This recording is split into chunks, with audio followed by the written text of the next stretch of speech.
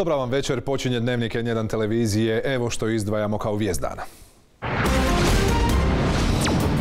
Europska agencija za lijekove odobrila cijepivo Johnson i Johnson. Danska privremeno obustavila cijepljenje AstraZenecom. U Hrvatskoj danas 777 novih slučajeva. Premijer upozorava situacija se pogoršala. Moramo biti oprezni. U dnevniku donosimo i ove teme.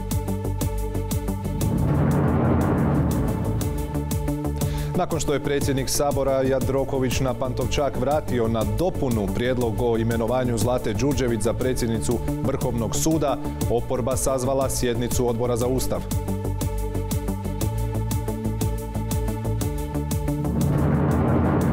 Sve zanimljivije u kampanjama za lokalne izbore. Zagreb čeka kandidata stranke pokojnog gradonačelnika, dok se u Slavoniji HDZ-ovi kadrovi sele u domovinski pokret Miroslava Škore.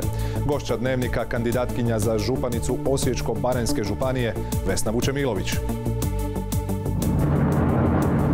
Podnesena kaznena prijava Dorhu kako bi se utvrdile sve činjenice povezane sa smrću zagrebačkog gradonačelnika. Nakon Buckinghamske palače, poslije intervjua brata Herija i supruge mu Megan, oglasio se i princ William. Poručuje mi nismo rasistička obitelj, s bratom planiram razgovarati.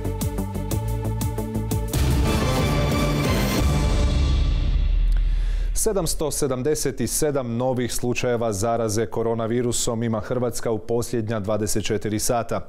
Omjer testiranih i pozitivnih je 11,5%. Preminulo je 10 osoba. Isporuke cijepiva kasne. Poznata je to činjenica. Ipak ovog tjedna očekuje se nešto veća pošiljka oko 100 tisuća doza cijepiva. No kada je o cijepivima riječ, postoji jedna dobra i jedna loša vijest. Što se dobre tiče, u cirkulaciji uskoro kreće cijepivo proizvođača Johnson Johnson koje je dobilo zeleno svjetlo Europske regulatorne agencije. Loša vijest druge strane je da su neke zemlje na led stavile AstraZenekino cijepivo. Više u prilogu Mateja Dominiković.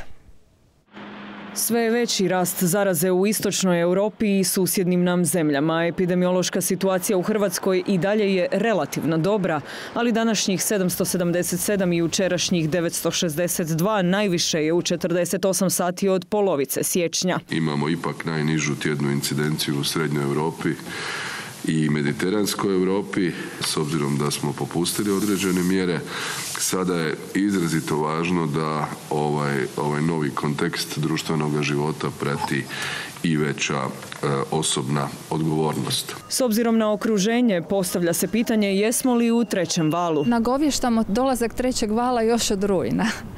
Tako da ne bih se usudila govoriti o trećem valu. Činjenica je da u zadnja tri tjedna se prati jedan blagi porast. Pretpostavljam da su se ljudi zasitili mjera, ali naglašavam da e, da ipak se mjera moramo pridržavati. Samo ovoga tjedna u Hrvatsku je stiglo ili će stići oko 100 tisuća doza različitog cijepiva. Do sada je cijepljeno više od 220 tisuća građana, od čega drugom dozom njih nešto više od 65 tisuća. Do kraja ožujka očekujemo dodatnih 335 tisuća 106 doza, stoga ćemo u ovom valu isporuke zaprimiti ukupno 743 tisuće 376 doza cijepiva. I taman kada doze pristižu u sve većim količinama, ponovno problemi sve više poglavito sjevernih zemalja privremeno obustavlja cijepljenje AstraZenecom. Nakon Austrije učinile su to i Danska i Norveška i Island. Pozivaju se na načelo opreza i to nakon izvješća o slučajevima zgrušavanja krvi nakon primitka cijepiva, pa i smrtnih slučajeva koji ipak nisu uzročno posljedično dokazani. U Austriji je sporna upravo ta jedna serija koja je poslana u još 16 drugih europskih zemalja. Mi te serije cijepiva nemamo. Ono što se istražuje i što je navodno povezano ne možemo niti potvrditi niti opovrgnuti. Trećina e, osoba koje su cijepljene jednom ili dvije doze primile su AstraZeneca i bez posljedica. Dakle, ne bih sada ovaj čas a naročito to ne bih ja kao pomoćnik ravnatelja govorila o tome da u Hrvatskoj treba zaustaviti cijepljenje. To će netko drugi odlučiti. Sigurnost cijepiva temeljito je provjerena u kliničkim ispitivanjima, a podaci potvrđuju da se cijepivo općenito dobro podnosi, poručuju iz AstraZeneca. Istovremeno EMA je odobrila još jedno vektorsko cijepivo. Riječ je o Johnson Johnsonu od kojih smo naručili 900 tisuća doza. Četvrto po redu odobreno za europsko tržište, ali i zanimljivo jedino koje se daje u jednoj dozi. Matea Dominiković, N1, Zagreb. A mi sada odlazimo u Primorsko-Goransku županiju gdje nas e, čeka Ranko Stojanac. Ranko, upravo je Rijeka razljutila vremeno premijera i nacionalni stožer kada je preporučila starijima da se ne cijepe AstraZenecom. A sada vidimo kako se situacija raspliče u nekim zemljama. Kako Ranko lokalni epidemiolozi gledaju na to, ali i na činjenicu da u igru ulazi cijepivo proizvođača Johnson Johnson? Pa tako je, najpozvanija osoba je svakako Vladimir Micović, ravnatelj nastavnog zavoda. Evo gospodine Micoviću, e, točno prije mjesec dana vaši epidemiolozi izdali su jednu preporuku s kojom se Plenković, sjećamo se, ni izbliza nije složio, a to je da se ne ide u cijepljenje populacije iznad 60, jer još uvijek nisu bili do kraja ispitivanja, nisu bila završena. Međutim, što se umeđu vremenu dogodilo? Nije, nije sasvim točno. Mi smo u, u stvari u razgovoru sa našim liječnicima koji su e, također postavili određena pitanja vezano za odgovarajuće e, platforme cijepiva, e, dali jednu određenu smjernicu tada na samom početku kad još neka istraživanja nisu bila gotova vezana uz jednu platformu da se eto cijepe nešto mlađe budući da su nedostajali odgovarajući znanstveno potkrijepili podaci za tu stariju populaciju. To je bila samo jedna smjernica koju smo željeli je tako povećati sigurnost i učiniti najbolje za naše građane. Dobro, ali u međuvremenu se dogodilo da, se, da su istraživanja završena, čini mi se. Jesu e, e, longitudinalne studije koje su napravljene u Škotskoj e, na jednom zaista velikoj seriji ispitanika, isto također i u Engleskoj su u stvari dala dodatna, dodatna, dodatne podatke koje su potvrdile određene segmente učinkovitosti te platforme cijepiva. Prema tome, u tom smislu sve je to sada nadopunjeno i ti, te dvojbe koje su tada bile postavljene ne samo od nekih liječnika u našoj sredini, nego u drugim europskim sredinama su, kao što znate, e, sada otklonjene i cijepi se o tom platformom i stanovništvo e, svih europskih zemalja, odnosno većine europskih zemalja i starije dobi. Dobro, dakle, otklonili smo tu dilemu. Međutim, ova AstraZeneca koja izaziva zgrušavanje krvi, to nije ta. To je samo bila praktički jedna serija. E, da, sad danas govorimo o tom jednom, o tome smo se već oglasili, evo svi i Hrvatski zavod za javno zdravstvo i tako dalje. Na regulatornim je agencijama svakih od zemalja koje imaju prijavljene odgovarajuće nuspojave e, bilo koje platforme cijepiva.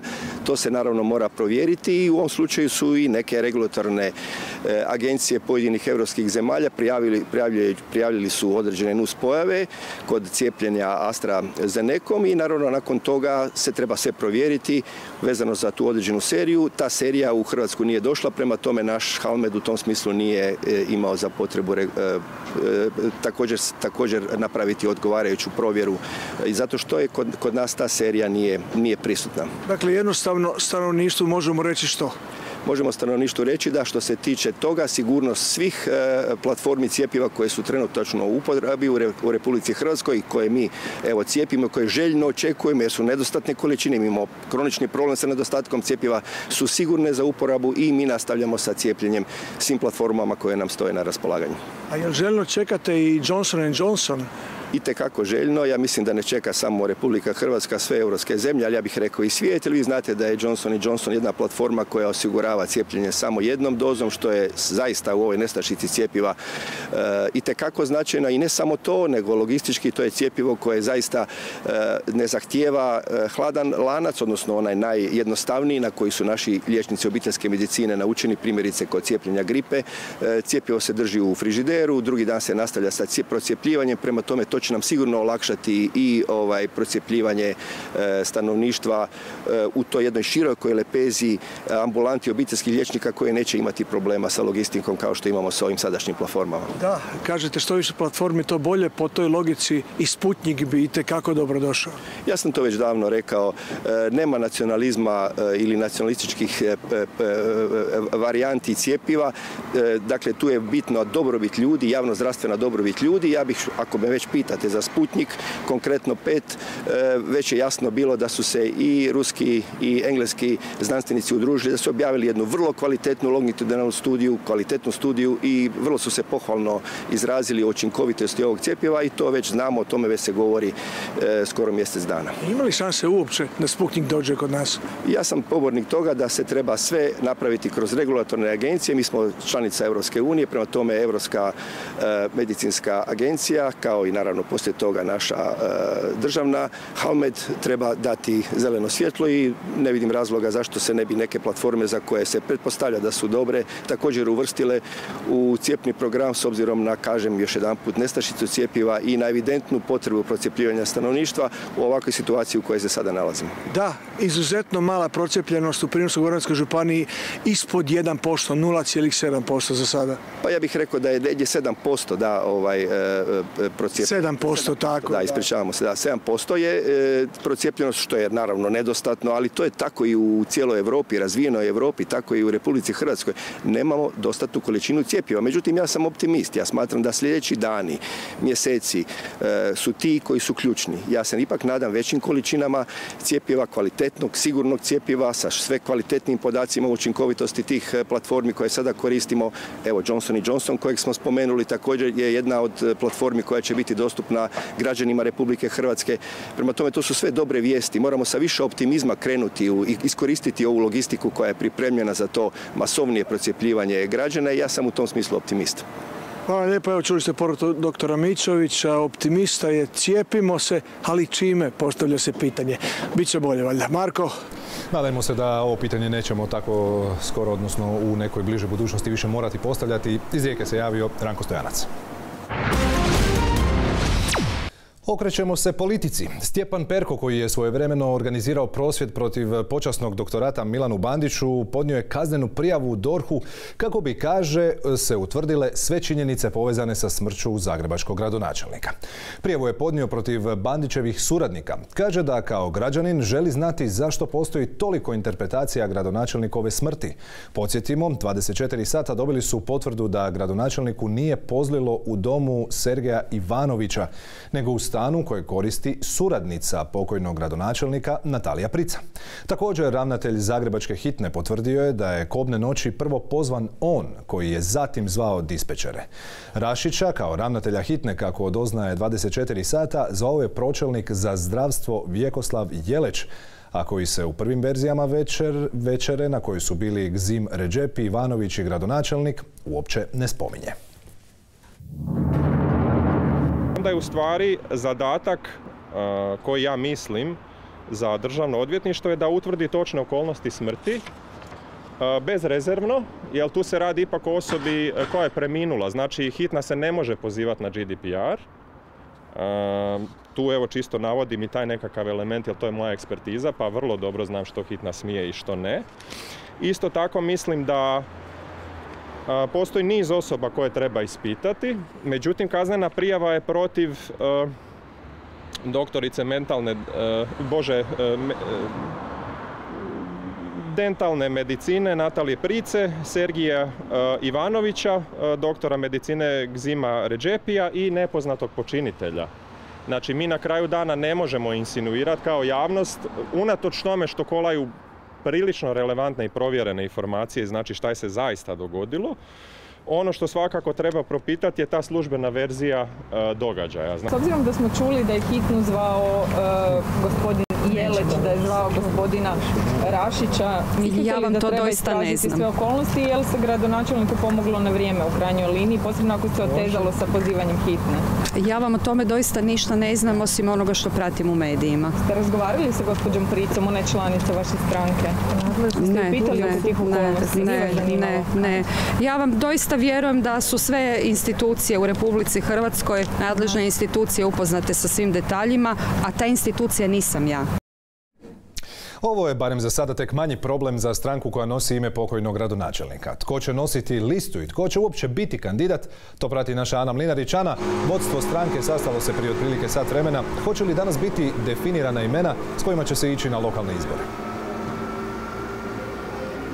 Neki članovi predsjedništva stranke Milana Bandića smatraju da se danas treba donijeti ta odluka ko je taj kandidat s kojim će stranka nakon smrti gradonačelnika izaći na lokalne izbore koji su za samo dva mjeseca. Kažu da se nema više što odugovlačiti i da tu treba prestići i donijeti odluku. S druge strane, osobe bliske Jeleni Pavičić Vukićević, a njeno ime nekako kotira kao najizglednije nijedno drugo se nije e, do sada bar pojavilo ili istaknulo ili ga pak e, e, članovi stranke nisu e, spominjali. Osobe bliske Jeleni Pavičić Vukićević kažu da neće to ipak biti danas, da još ima vremena. Na tragu toga jučer je u našem programu govorio pročelnik Ivica Lovrić koji kaže da se cijela ta odluka može odgoditi i do idućega tjedna. Dakle, Marko, odgovor na tvoje pitanje znaćemo u 18.30 kada je nakon sastanka zakazana izjava. Čuli smo i vijest prije ovoga javljanja. Danas ni članovi stranke nisu mogli izbjeći pitanja oko okolnosti e, smrti zagrebačkog gradonačelnika nakon što je jedan građanin podnio e, kaznenu prijavu. Smatraju da zapravo e, se tu ne treba više dirati ta priča da ne treba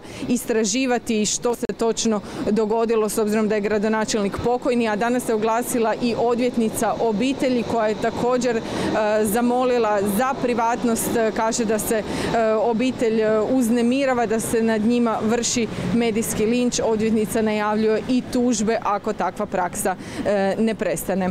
Ali da se vratimo na ovaj sastanak, evo što su članovi stranke uoči početka sastanka predsjedništva rekli i o temama, ali i o ovoj kaznenoj prijavi. Očekujem da ćemo o tome razgovarati, ali izjavu mogu dati nakon sastanka jer ne znam zapravo kakav će biti rezultat. Ne? Što mislite, koliko još imate vremena birati uopće kandidata? Pa ja mislim da ćemo mi to danas završiti. Vi mislite danas? Da. A nema smisla čekati više, no? Jedina točka dnevnog reda. Imamo tri točke, ali dobro, nakon sastanka vam možemo dati izjavu. Možete favorit? Ja osobno imam. Je li to gospođo Pavičić-Vukićević? Dobro, nakon sastanka. Dobro, dajte još molim vas, e, kaznena prijava koju je jedan građanin podnio i traži da se istraže okolnosti smrti gradonačelnika. Kako uopće na to gledate? Ili mislite da treba istražiti?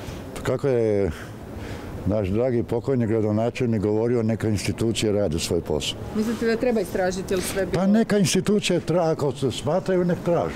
Ne kopajte po kostima čovjeka koji je mrtav. Hvala lijepa. A mislite vi da, da, da, da ima osnov ta prijava i da treba to istražiti? Pa rekao sam, ne, ne kopajte po kostima koji je čovjek mrtav. O mrtvima sve najbolje. Hoćete li večeras objaviti ime, hoćete znati koji je kandidat za gradonačelnika? Nadam se da ćemo biti to i da idemo dalje. Zagreb, gospodin pokojni gradonačelnik Milan Bandić je ostavio pun auto goriva, servisiran auto, samo neko treba nastaviti voziti ga dalje. A ko bi bio najbolji vozač? Ko kandidat? Ko je vozač? Onaj kod do njega, 24 godine. Sve sam rekao. Gospođa Pavić Vukićević. Pa najvjerojatnije da. Ne vodi se bitka samo za Zagreb, uskoro će cijela Hrvatska na lokalne izbore, uvijek su tu zanimljivi veliki gradovi. Sada s obzirom na ovo osipanje HDZ-a bit će zanimljivo vidjeti kako će e, ta stranka, vladajuća stranka proći e, u Slavoniji, u pet slavonskih e, županija. Dugo već traje ovaj neslužbeni dio kampanje, onaj službeni još uvijek nije počeo, a što su danas obećavali kandidati zna naša Iva Velebni projekti obećanja slatke riječi. Utrka za Zagreb u punom je jeku. Kandidati dviju najvećih stranaka razbacuju se velikim riječima. HDZ i velikim projektima poput dječje nacionalne bolnice. Djecu nikada ni- ne bih promatrao u kontekstu bilo kakvih izbora, nego bi činio sve da se poboljša njihove, njihovi uvjeti za skrb. Kogod je vodio dijete u Klajićevu zna da tamo nisu primjereni uvjeti za, za našu djecu. SDP-ov adut za metropolu odmah oštro po Filipoviću. Dakle, moj protokandidat iz HDZ-a svakim svojim pojavljivanjem, pojavljivanjem u medijima iznosi uh, jedan novi projekt kao njegov prvi prioritet. Pa je malo to Jaronski most, malo je to bolnica u Blatu, malo je to proizvodnja cijepiva u novoj nepostojećoj tvornici i to ne samo cijepiva za COVID, nego i za cijepiva, cijepiva rak, uh, za koje niko nije još čuo. Dakle, sve je to jedna priča, jedna bajka.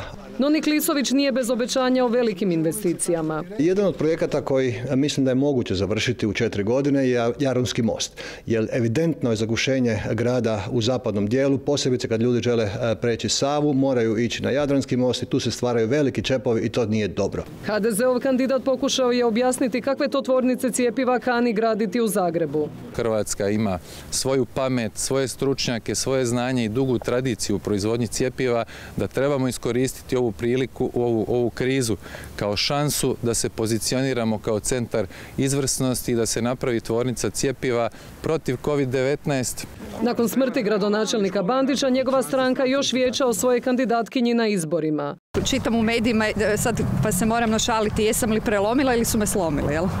Takvu odluku niti bilo tko od mojih kolega čije su kandidature također se mogle isticati, vidjeli smo da se ističu kroz medije, ne mogu donijeti da, bez da sa kolegama porazgovaram i bez da vidimo kako diše naše stranačko članstvo. U Mostu se pak ne zabrinjavaju ulaskom Miroslava Škore u utrku, a čini se ne vape ni za Bandićevim biračima. Škoro je pokazao ambiciju da prikupi dio tih takozvanih Bandićevih birača. Mi nismo išli u tom smjeru. Mi smo vrlo jasno rekli da model upravljanja gradom Zagrebom nije dobar. U susjednoj Velikoj Gorici Savez centra i Ljevice za podršku SDP-ovu Ivi Jelušiću. Ovaj grad mora biti grad svih građana, a ne samo onih, one koji su bliski političkoj oligarhiji, vladajućoj stranci kao što je to do sada bilo. Do kraja izborne kampanje bojimo se pomisliti što će još sve kandidati obećati. Iva Puljičego, N1 Zagreb. Toliko od kampanje za danas, toliko za sada i od nas za desetak minuta. Ponovno smo zajedno ovdje u Praškoj kada ćemo čuti izjave nakon sastanka i vidjeti jesu li prelomili, ide li Jelena Pavičić-Vukičević u bitku za zagrebačku gradonačelnicu. Za sada ispred stranke Milana Bandića javila se Ana Mlinarić. Počelo je s Josipom Dabrom, a onda se sve ubrzalo. Damir Juzbašić, Petar Čurić, Ivan Šipić, Slavko Grgić. I to nije sve. Posljednji bijeg iz HDZ-a pratio je Elvir Mešanović. U HDZ-u vrije prije lokalnih izbora. Novi odlazak iz stranke najavio je virovitički dožupan Darko Žužak. Od toga ga pokušava odgovoriti županijski čelnik Josip Đakić. Mi ćemo razgovarati dalje s njim. To što je ukinuto jedno mjesto dožupana sigurno je prepreka. Mi nismo izgubili previše, mi smo i dalje kompaktni, nema nikakvih ovoga bitnih tenzija ni trzavica, sve što je vrijedilo kod nas. HDZ je očito žrtva svog vlastitog zakona Lex šerifa jer se smanjuje broj funkcija na lokalnim razinama. Žužak je za odlazak naveo osobne razloge, no pravi je, čini se, upravo funkcija dožupana. Vrh stranke ne brine. Nije dobro kad ni jedan član iz stranke odlazi, to nisu dobra, dobre stvari, međutim, to se događa. Znači, uvijek je bilo odlazaka iz HDZ-a, posljednjih i iz drugih političkih stranaka. Svima su otvorena vrata i za ući i za izići. Najveći je problem u Vukovarsko-Srijemskoj županiji. Zbog toga je sinoć Andrej Plenković sazvao hitni sastanak u središnjici stranke. Može samo kratko, čini li vam se da je HDZ lagano pred lokalne prizdisaju neko?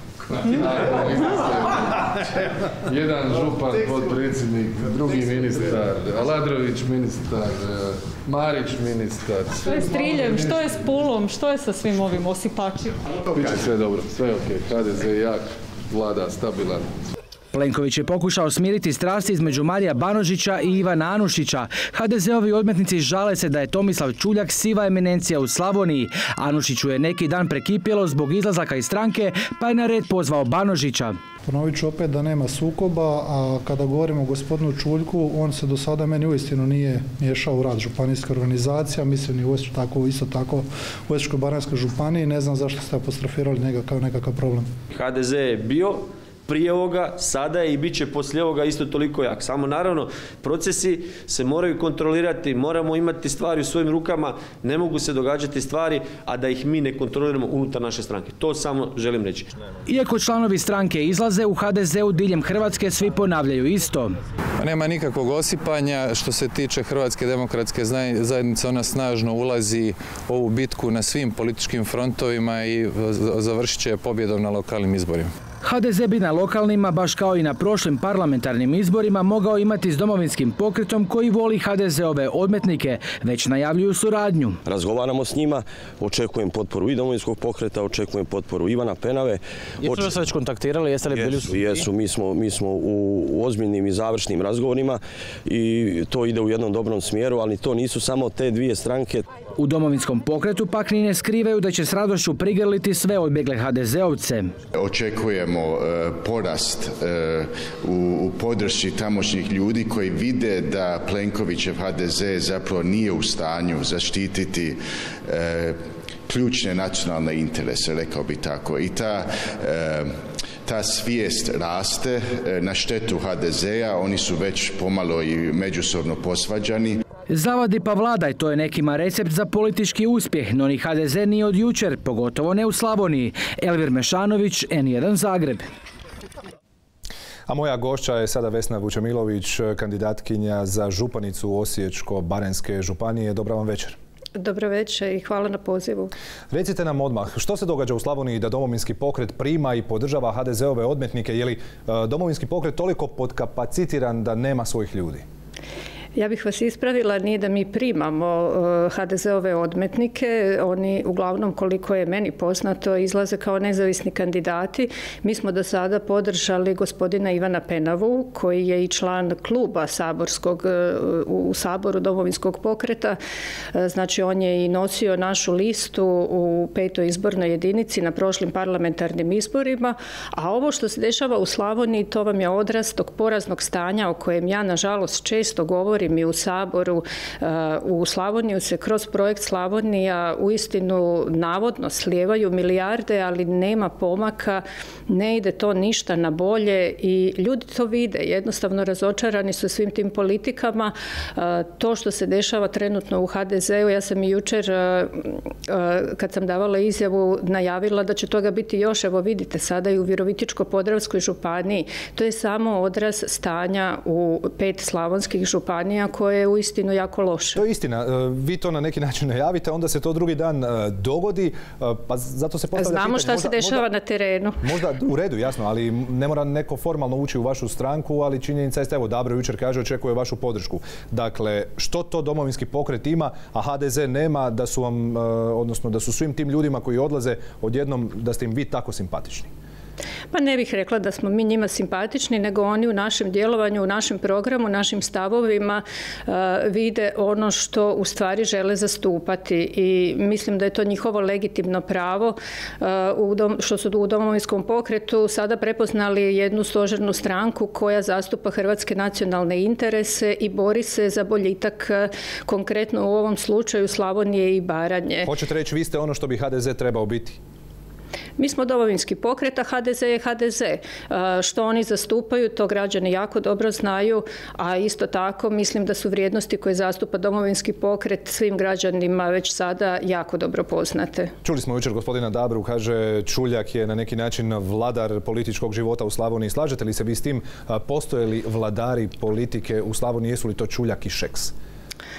Pa ima ovih isturenih, ima i ovih e, koji sa strane jel, neke stvari iz pozadine rješavaju, ali znate ova cijela prepirka između gospodina Anušića i gospodina Banožića mi je izgledala kao nekakav natječaj za slavonskog gubernatora. Mislim da bi trebali i oni shvatiti da ovo nisu 90. Živimo u 2021. godini i e, ne ide to više baš tako kako su oni zamislili. E, bez obzira na to, možda Ivan Anušić ima pravo na to, on je prilično popularan župan. Vi osobno idete na njega na ovim lokalnim izborima. Što očekujete od svoje kandidature? Koje su vam uopće šanse? Pa ja ne bih rekla da je on popularan. Znate, popularan je Mišo Kovač, popularan je Toni Cetinski, gospodin Anušić iza sebe ima četiri godine mandata, a birači će i stanovnici Osječko-baranske županije procijeniti je li on ispunio obećanja koje je dao prije četiri godine. Koliko ja vidim nije ispunio ni jedno, ni jedan kapitalni projekt koji je on obećao od regionalnog distributivnog centra preko gospodarskog centra, preko nove gimnazije, preko mosta kojeg je rekao da će pustiti e, u promet koji je na trasi koridora 5C. Ništa od toga nije zaživilo, to je još uvijek sve na papiru. Jedino što on najavljuje je jedna uistinu jako bizarna nova institucija koja se zove ili bi se trebala zvati Agencija za komarce gdje on namjerava uvesti našim stanovnicima novi namet e, odmah poslije izbora i vjerujte mi to je toliko čudno i bizarno da ja ni sama nisam u to vjerovala dok nisam vidjela dokumente koji to potvrđuju. Ono zadnje što treba e, stanovnicima Osječko-baranske županije su nekakvi novi nameti. Pitanje za sam kraj, kratko molim vas, e, kažete sve su to obećanja koja nije ispunio. Znači li to da su to loša obećanja? Da li biste vi bili u mogućnosti ispuniti to ili vi imate neki drugi prioritet? Ako ih on nije ispunio u godinama 2017. 18. 19. kada su makroekonomske prilike bile dobre, kada je Hrvatska bilježila gospodarski rast, ja osobno njemu ne vjerujem da će on ništa od toga sada u ovim vremenima krize ispuniti. A vi, vas, vi dolazite, ako Mi imamo malo drugačiji program gdje razmišljamo o razno, ravnomjernom razvoju u cijeloj županiji, a on je koncentrirao sve nekako u okolici grada Osijeka, što mislimo da nije dobro. Biće zanimljivo u Slavoniji, razgovarat ćemo sasvim sigurno još. Hvala vam lijepa na ovom gostovanju. Hvala vama. Procedura javnog natječaja ili direktan prijedlog predsjednika Republike. Kako će na koncu biti izabran predsjednik ili predsjednica Vrhovnog suda i dalje je nejasno. Pitanje procedure izbora predsjednika Vrhovnog suda nametnulo se i na sjednici odbora za Ustav, kojim se SDP-ov Arsen Bauk požalio da je predsjednik Sabora Gordan Jandroković prekršio poslovnik. Tu sjednicu danas je pratila Vanja Kranic. Vanja, o čemu se raspravljalo u Saboru i ima li ičega spornog u onome što radi Gordan Jandroković? Pa ovisi naravno koga pitate. Dakle, danas e, se na toj sjednici odbora za Ustav raspravljalo o tome da li je Gordan Jandroković e, prekršio poslovnik kada je od Zorana Milanovića tražio e, dakle, da nadopuni svoj prijedlog Zlate Đurđević u roku 15 dana ili ga neće staviti na dnevni red. Ako se pita SDP, on je prekršio taj poslovnik. Oni su tražili tu raspravu i smatraju da je Gordan Jandroković uzeo si faraonske ovlasti. S druge strane, HDZ smatra da nije i da nije, dakle, da je on e, nije prekršio taj poslovnik. Isto tako bili su tamo na toj sjednici i razni ustavni stručnjaci koji također imaju različita mišljenja. U svakom slučaju na posljedku je izglasan prijedlog zaključka očekivano da Gordan Jandroković nije prekršio poslovnik sa šest ruku za, e, četiri protiv i jednim suzdržanim. Suzdržan je bio Milorad Pupovac. To sada ide i na plenarnu sjednicu, a pogledajmo zapravo dio te rasprave koja je trajala negdje oko sat Iako se nastavi ta intencija predsjednika da, dakle, da, da diskrecijski u relativno nedvojbenim slučajevima vraća aktove na doradu, time ćemo malo suspendirati demokraciju i dati predsjedniku Sabora ovlasti koje se mogu nazvati faraonske i koje nikad nije imao. To znači da predsjednik Sabora na sebe preuzima hoće li nešto uopće pripustiti u saborsku raspravu ili neće i on postaje i Sabor i Ustavni sud u jednome to što se predsjednik Sabora pozvao na članak 170 poslovnika jedino što i mogu napraviti s formalno pravne strane. Smisao te odredbe je da predsjednik Hrvatskog sabora onemogući da u parlamentarnu proceduru ulazi ono što je pod jedan protivno poslovniku, jer je to eksplicite izrekom rečeno, a pod dva što je i protivno drugim pravnim propisima iste ili još gore više pravne snage. Ovo bi značilo da predsjednik Sabora prethodno ocjenjuje ustavnost akta koji treba uputiti u proceduru, ali on za to nema ovlasti. U mojem mišljenju e, ovdje bi trebalo to uputiti dalje i da Sabor, nisam razmišljao o odborima, taj dio ovaj, se nisam fokusirao, da u biti na plenarnoj sjednici se odluči o tome kakav je prijedlog došao, pa postoje neke primjere da se odbije, ako se želi odbiti, jel? zaključkom. Ili da se prihvati. To je drugo. Ne ulazeći u odluku Ustavnog suda koja će nam doći prije ili kasnije, koju ćemo poštivati, vidjet ćemo šta će biti. Ali sad kad nema te odluke, ja mislim da je ovo, evo, moje sugerirano rješenje. Hvala.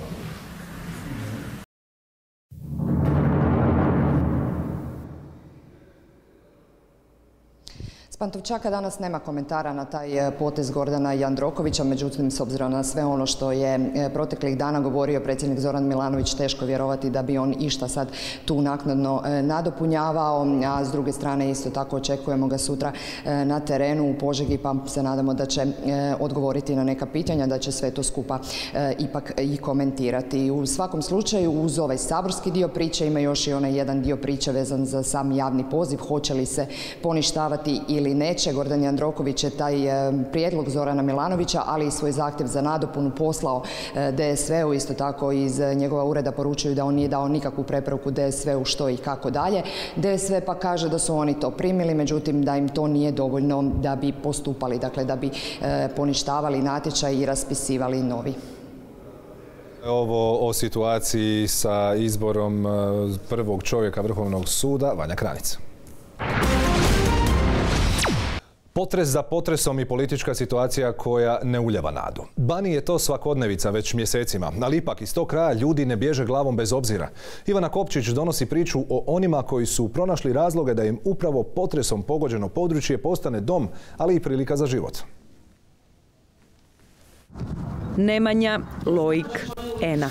Troje potpuno različitih mladih ljudi, ali s potpuno istim ciljem. Vratiti život u potresom razorena područja. Nemanja vlasnik uništenog ugostiteljskog objekta već ima plan. Cijene najma su jako skočile po svuda, zapravo nismo mogli iznajmiti drugi prostor jer to nije ono, ekonomska računica se tu ne slaže, pa stoga smo odlučili, uh, odlučili smo napraviti malu drvenu kućicu sa kafić, sad konkretno pričam iz kojeg ćemo zapravo imati samo terasu. U međuvremenu bavi se snimanjem, fotografijom i volontira. Sada će se zaposliti u ovoj udruzi u Petrinji i to baš na projektima za mlade, u nadi da će ih biti još više. Mogao sam otići ovaj van, koji mnogi što su otišli, mogao sam otići van više već puta i svaki put sam na kraju odabrao da ne idem van jer ono, želim biti doma. Ovdje se osjećam doma dobro i osjećam se da još uvijek mogu nešto napraviti, stvoriti i za sebe i za druge. Ena volontira u udruzi koja joj je nakon potresa pružila smještaj. Pripremat će lutkarske izvedbe za Petrince. Tako sada ovdje živi i radi od 0 do 24. Kaže nikad nije dosadno, uvijek netko dođe, ali ima i svoju privatnost. A na pitanje je li ikad razmišljala o odlasku, odgovara. Jesam više puta kroz život, ali sad ironično baš sad kao kad bi mi trebala kao, kao priličaš, e, znači ne, sad mi se baš ostaje nekako uinati i želim gledat kako ovaj grad može biti prekrasno mjesto, bez obzira na sadašnju sliku njegovu. Partner u lutkarstvu bit će joj Lojk, mladić iz Luksemburga koji je prije potresa ovdje došao volontirati, preživio potrese i zatim donio čvrstu odluku. Nije dozvolio da ga strah pobjedi. I have more reasons to stay than reasons to leave. So uh, I will. Uh, my project officially ends on the end of May, but I will try to stay over the summer because I uh, uh I'm new to the Balkan lifestyle. It's a bit different than in Luxembourg. Also, I want to learn at least the basic Croatian Službene statistike pokazuju da je u posljednja dva mjeseca iz Županije iselilo 230 osoba, doselilo 189, a 803 promijenile boravište unutar Županije. Ne zvuči mnogo, ali na terenu je, kažu građani, stanje puno lošije. Ima i koji će ostati, baš koji su pravi Petrinjci. Ti će ostati, a oni koji su pridošli, ti će i otići. Ima već i još sigurno 150, što ja znam. Ovdje nema ništa, ovo sve je porušeno. Tu nema ničega. Čega? Pa, e, gdje sad boraviš? Kako ste se sad snašli? E, trenutno dobili smo naranđastu naljepnicu, u, dobili smo mobilnu kućicu i tamo smo. A ova sanacija to sumnjam da će se dugo još neće se to napraviti. To su ona područja koja su najviše u stvari pogođena i gdje su ljudi ostali bez svojih domova i vjerovatno su iz toga razloga e, otišli potražiti si sigurniji e, dom. Ali evo, ja se iskreno nadam da ćemo mi doista, jer upiremo svim snagama da i obnova što prije krene i maksimalno smo se aktivirali i po tom pitanju. A najmlađi optimisti. Meni je plan da ostanem u Petrinji i volim ovo mjesto i ovaj grad i vjerujem da će biti još puno mladih u Petrinji. Kad bi se riječi ovog dječaka ostvarile. Ivana Kopčić, N1 Petrinja. Tisuće zahtjeva za obnovom zaprimljeno je i dalje stoji u ladicama Ministarstva graditeljstva. Čeka svoja rješenja naime. Odluka još nema. Ministar najavljuje danas da će se oni početi rješavati od idućeg tjedna. Zahtjevi koji se odnose na obnovu nakon zagrebačkog potresa, a čija godišnjica dolazi za 11 dana, stoje ondje i mjesecima. Kada kreće napokon obnova u pravom smislu te riječi, konkretnih odgovora i dalje nema. Ako se još nije krenulo s obnovom nakon prosinačkog potresa, zašto se još gotovo ništa nije napravilo nakon onoga iz ožujka? Dakle, činjenica da se u Zagrebu potres dogodio 22.3. i činjenica da, su, da je ovaj kompletni paket zaokružen uključivo sa raspisom na pribavljenim novcem i raspisom natječaja za prvi prioritet sanaciju, odnosno konstrukcijsku, odnosno cjelovitu obnovu svega onoga što je javno, je činjenica da smo mi sa fazom projektiranja započeli, činjenica da su nam troškovni, neki od troškovnika na stolu i činjenica da u ovom trenutku imamo prijava na te natječaje daleko, daleko većih gabaritno, volumensko, financijski od ovih 5,1 milijarda.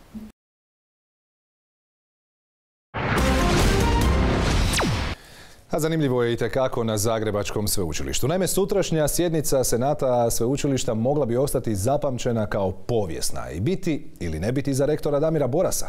Senat naime čine predstavnici svih sastavnica sveučilišta i mogu smijeniti rektora, podržati ili ne podržati njegove prijedloge. Unatoč brojnim skandalima bilo kakva rasprava na Senatu je izostala. Tek nakon poticaja Sveučilišnog savjeta Senat će se sutra, nakon gotovo godinu dana, sastati uživo.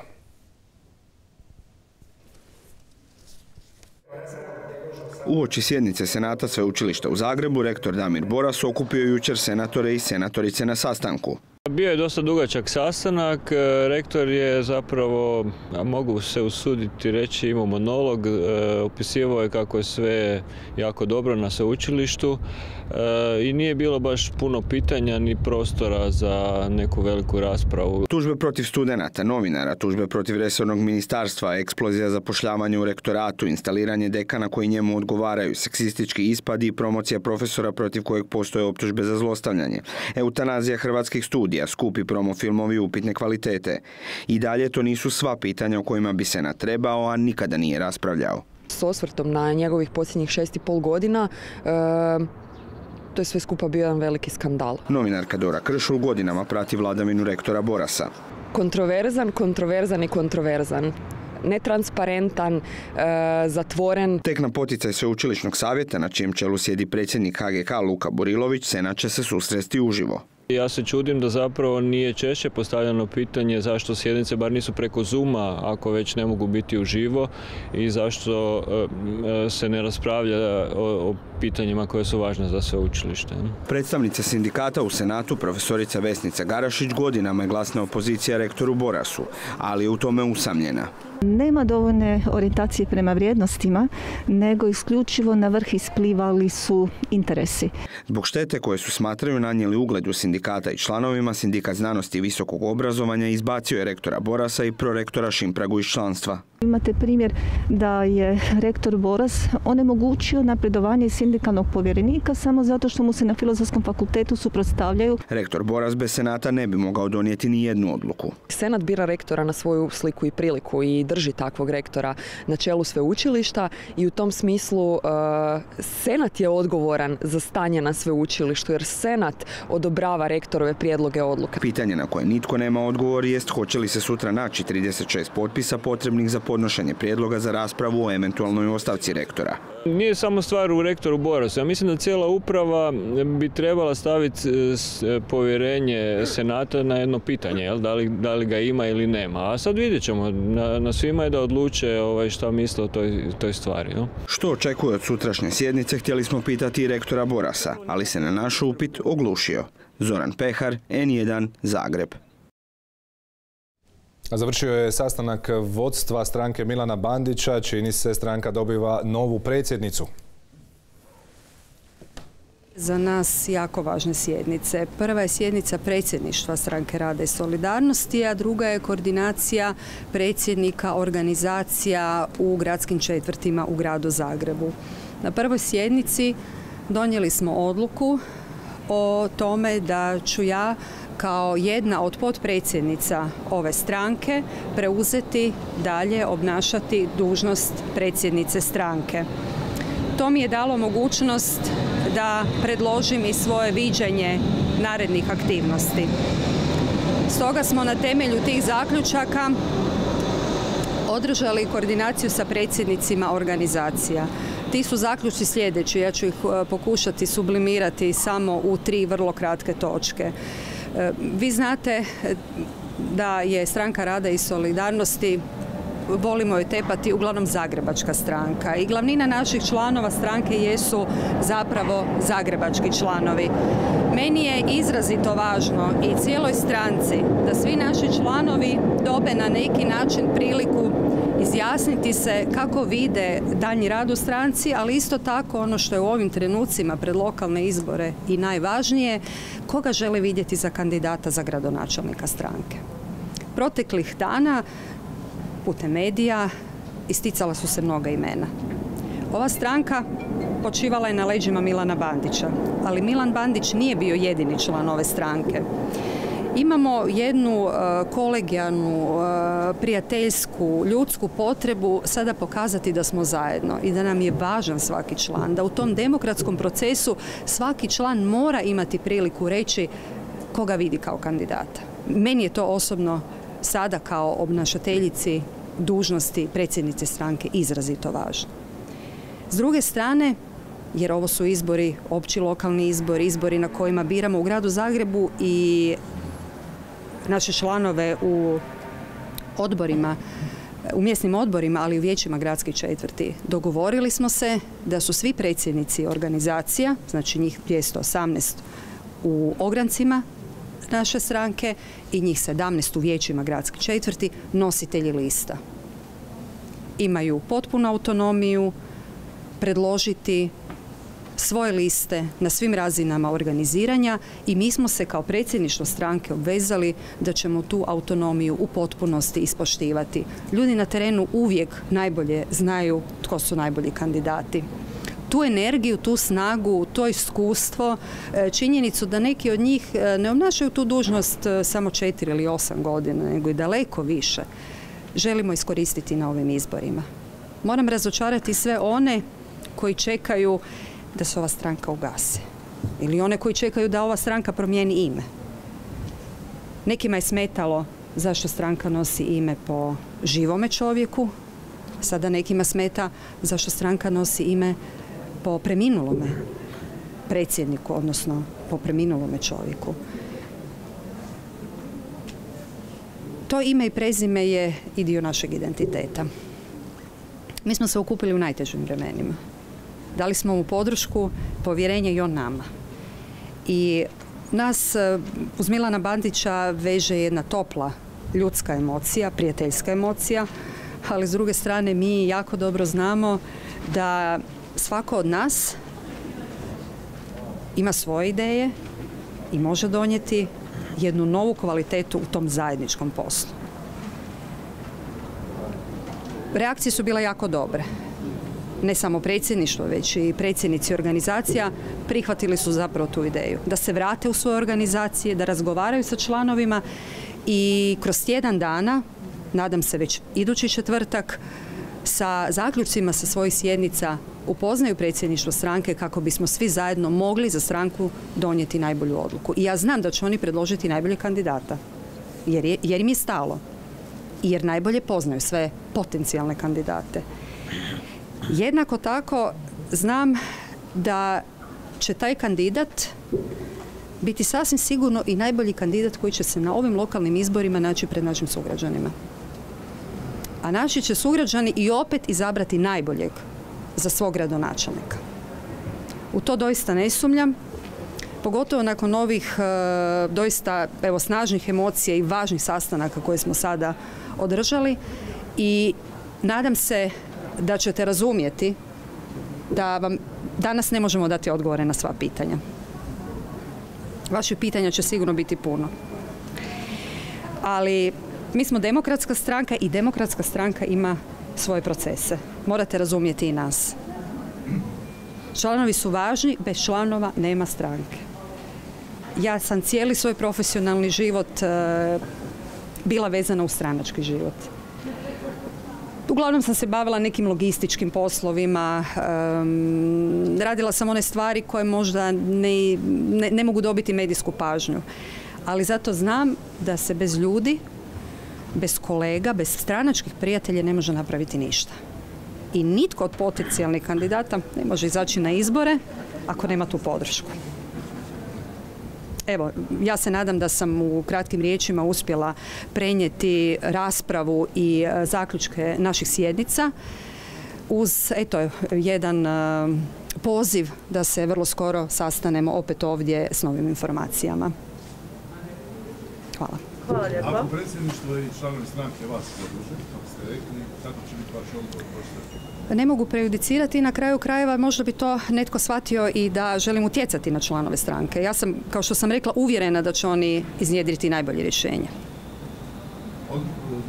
Sljedeći tjedan imate rješenje ili kad ćete objaviti to? Pa meni će predsjednici organizacije javiti kada su spremni za taj razgovor. Mhm. Imamo veliku organizaciju, e, preko 5000 članova, 218 ogranaka, ali ja mislim da uz dobru koordinaciju to sve možemo odraditi kroz tjedan dana. I onda će predsjedništvo jel, odlučivati o tim imenima koja dođu na stol? Da. Ima li još pitanja?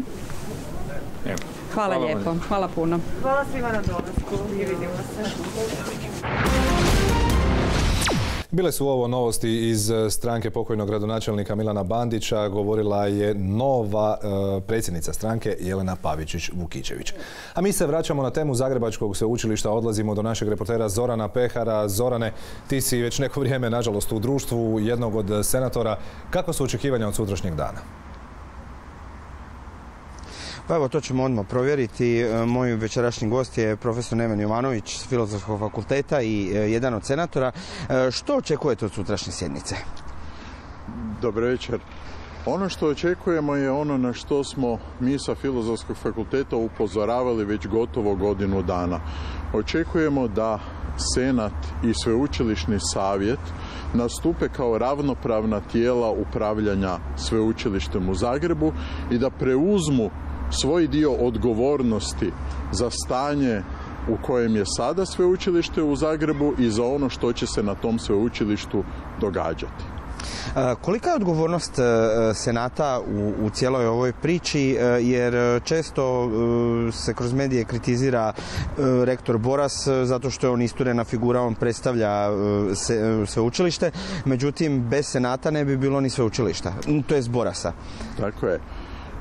Senat ja mislim, dakle po mom osobnom mišljenju, Senat snosi najveću odgovornost zbog toga što je pristao da se sjednice e, Senata održavaju dopisno, bez mogućnosti rasprave. I prema tome onda je preuzeo odgovornost za sva pitanja koje je trebalo postaviti, a nisu bila postavljena, za sve odluke koje je trebalo propitivati, a nisu se pitanja postavljala i iz toga su proizašle sve one afere koje ovih posljednjih dana pune i novinske stupce i televizijske minute.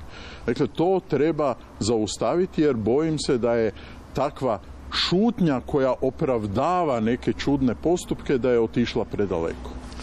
Prema vašem mišljenju i s obzirom na i sva saznanja koja su bila i na vašem fakultetu i sve ovo što ste sami rekli e, ovaj, i što su mediji otkrili, uh, treba li rektor Boras otići sa ovog mjesta? Ja mislim da je ono što je važno da treba rektoru postaviti pitanje. Zašto ste to napravili? Zašto ste zaposlili toliko ljudi na rektoratu, a nikoga niste pitali, niti ste ikome polagali račune? Zašto niste potpisali programske ugovore, a niste nikad konzultirali Senat o tome? O odgovorima ovisi što će dalje biti. Jer od senatora ja očekujem da će oni kao znanstvenici, svi smo mi znanstvenici, da će oni procijeniti koliko je taj odgovor uvjerljiv, koliko on stoji i da će onda izvući konzekvence iz toga. Profesor Jovanoviću, hvala vam lijepa na ovom razgovoru. Evo, dragi gledateljice, gledatelji, imali ste priliku čuti puno je tu pitanja na koje bi rektor Boras e, sutra trebao odgovoriti. Mi ćemo naravno i sutra e, pratiti e, i ovu sjednicu, pa ćemo vidjeti što rektor, a što senatori kažu o cijeloj situaciji i stanju na sveučilištu u Zagrebu. Marko? Hvala ti, bio je ovo naš Zoran Pehar. Puni udar korona krize na gospodarstvo tek slijedi. Za sada mnoge nad površinom drže vladine mjere, ali jednom kada one završe i kada isteknu moratoriji na kredite, priča bi se mogla stubokom promijeniti. Više u prilogu Ivana Hrstića. Radna mjesta tijekom krize u velikoj mjeri su spašena. Za sada. No čekali nas masovni potop poduzeća nakon što isteknu kreditni moratoriji i državne potpore. Upozorenje stiže između redaka glavnog ekonomista Hrvatske narodne banke. Prošle godine je broj stečajeva bio puno niži nego i u dobrim godinama. Znači u dobrim godinama više poduzeća ode u stečaj nego što je otišlo u prošle godine u ovoj nezapamćenoj krizi. No to je dobra vijest samo na prvi dojam. Pitanje je što bi se dogodilo da i sudovi nisu dodatno usporili rad. Činjenica je da smo imali izdašne, vrlo izdašne javne potpore, da smo imali moratorije i sve to održalo na površini i ne neka poduzeća koja bi možda nažalost već i propala. I to kad kriza prođe, onda će se situacija iskristalizirati i jasnije će se vidjeti koja poduzeća nažalost neće preživjeti krizu. Tu je i stvarno dobra vijest. Lavovski dio kredita po isteku moratorija uredno se vraća. Podaci su pokazivali poslije nove godine da se preko 80% svih tih moratorija vraća. Naravno da nije realno očekivati od turističkog sektora ili od brodara ili od nekog drugog da u trenutku kada e, treba vratiti neku obavezu 34. ili 31.5. neće moći vratiti jer naprosto nema još uvijek prihoda. No preostalih 20% ukazuje na golem prostor za uzlet loših kredita. Najveći broj moratorija za turistički sektor istječe 30. lipnja. Jasno je da tada neće biti nikakve sezone. Poduzetnici ne dvoje, iluzorne očekivati od bankara da će spašavati one kojima poslovanje pleše on kraj ruba. To neće ići bez pomoći države. Kakva god bila sezona neće biti takva da bi mogla nadoknaditi sve one minuse koji su se skupili i tako da očekujemo doista da vlada da još jednu dodatnu injekciju u privatni sektor. malo i srednje poduzetništvo je najpogođenije naravno ovom krizom, a oni su nositelji hrvatskog gospodarstva kao i drugih gospodarstava. Ako pustimo da te male i srednje firme propadnu, urušit će se sve, bojim se. U uvjetima ovakve epidemiološke neizvjesnosti, iako novce imaju na pretek, banke ne mogu spašavati turistički sektor i poduzetnike koji ne zadovoljavaju kriterije, barem ne bez uskakanja vlade i hamaga, poručuju i bankari. Kroz janstvene šeme takve kredite onda moguće da tako je. Na komercijalnoj razini, nažalost, zbog neizvjesnosti koju ima, mislim da teško može takav kreditni zahtjev proći. Ministri za sada nisu baš zagrizli na jamstvene šeme. Ističu imaju načina banke natjerati da više kreditiraju. Iz HNB-a također podsjećaju kako su svojim potezima omogućili višak likvidnosti koji doseže čak 67 milijardi kuna. Banke su pune likvidnosti. E, ova kriza nije krenula u bankama, nego da pače banke su su sposobne kreditirati gospodarstvo i time ublažiti utjecaje krize. Nakon nedavne nagodbe oko arbitraže, ministar financija jasno je nagovijestio. Banke mogu računati i na smanjenje obveznih pričuva i ukupnih troškova, čime će se stvoriti izdašna likvidnost za plasiranje dobrim poduzećima. Ako takvih doista toliko i bude. Ivan Hrstić, N1, Zagreb. A premijer Andrej Plenković u dvodnevnom je posjetu Briselu gdje ima ni sastanaka s čelnicima NATO-a, zatim Europske unije, te s belgijskim premijerom. S predsjednicom Europske komisije Ursulom von der Leyen premijer će razgovarati o nizu tema od izrade nacionalnog plana oporavka i otpornost borbe protiv koronavirusa, distribuciji cijepiva, ulasku u eurozonu, ali i šengenski prostor. Dan završava radnom večerom s predsjednikom Europskog vijeća Charlesom Michelom s kojim će razgovarati o globalnim temama Rusiji, Kini, Turskoj, proširenju Unije unije, BiH, ulasku u Schengen i eurozonu.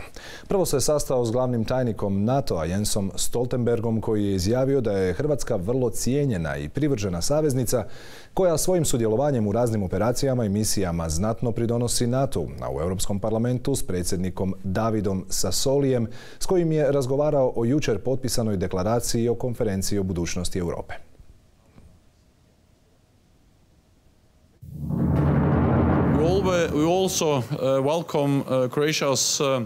Cijenimo poruku Hrvatske otvorenim vratima NATO-a i bliske suradnje Europske unije i NATO-a. Također pozdravljamo to što vidite važnost transatlantskog partnerstva i mislim da izborom novog predsjednika SAD-a Bidena i projektom NATO 2030 imamo jedinstvenu priliku ojačati te transatlantske veze. Ringraziare il primo ministro Plenković, caro amico Andrei per la visita al Parlamento europeo. Stata l'occasione per una ricognizione su Posjet Andreja Plenkovića prilika je za razgovor o pitanjima koja zaokupljaju institucije i naravno sve zemlje članice, od pitanja pandemije do pitanja cijepiva pa tako i problema koji su se u tom pogledu dogodili, ali naravno i dalje potvrđujući solidarnost i izbor zajedničke europske politike. Razgovarali smo i o jučer objavljenoj inicijativi. Svi se slažemo s potrebom da se Europska unija poboljša i unaprijedi i vjerujem da će dijalog s civilnim sektorom i građanima biti najvažniji. Hrvatska će i na domaćoj sceni, a i kroz angažman svojih predstavnika dati doprinos raspravi o tome kako zajednički možemo odgovoriti na globalne izazove i kako ova konferencija može poboljšati e, odgovore Europske unije, njenih institucija na očekivanja građana, ali i na brojna kretanja u svijetu koja su bitno drukčija nego danas nego što su bila prije Covida-19. Zahvalio sam predsjedniku Sasoliju na potpori koju daje Hrvatskoj na našem putu prema e, Schengenu, dakle jednom od dva strateška cilja dublje integracije i vjerujemo da će uz proces koji vodimo unutar vijeća dobiti i političku potporu Europskog parlamenta kada za to dođe vrijeme. A sada nešto malo drugačije. Naime, prvi put nakon što je prije tri dana emitiran intervju njegova brata Harrya i supruge Meghan Markle u kojem su Oprah Winfrey iznijeli niz optužbi na račun kraljevske obitelji, oglasio se i stariji brat, princ William, nasljednik krune. On je danas boravio u jednoj školi u Londonu, a prilikom obilaska upitan je je li se čuo s bratom i je li istina da postoji rasizam u kraljevskoj obitelji. Odgovorio je kratko.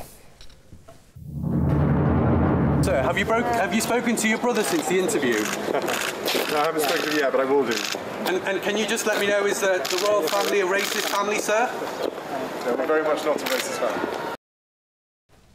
Kraj tjedna, nažalost, donosi pogoršanje vremena. O sutrašnjoj promjeni doznajte više u prognozi koju nam je pripremila Teja Blažević. Lijepi pozdrav, dragi gledatelji. Oblaci naviru južina jača, stiže promjena. Hladna fronta unosi nemir, a sutra će se u Dženovi generirati ciklon.